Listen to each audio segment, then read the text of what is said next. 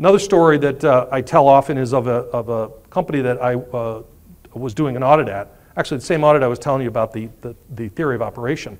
Um, they were doing some mixing in the manufacturing, liquid mixing in the manufacturing process. So I'm doing an audit, and the mixing instructions said mix to 45 RPM. So they always have that document, 45 RPM. I said, okay. 45 RPM. Is that 45.5 RPM? You know, classic auditor question. Is that 45.5 RPM? Uh, I don't know. Is it 30 or 44.5 RPM? I said, do you calibrate this? You know, the classic auditor questions. Finally, the guy broke down and said, well, we don't really even do that anyway. We just mix it until it comes to a vortex, right? I went, you're kidding me. So, you know, often when you go through this analysis, you'll find that batch records don't often tell the story. That's where you start with building these plans with an operator.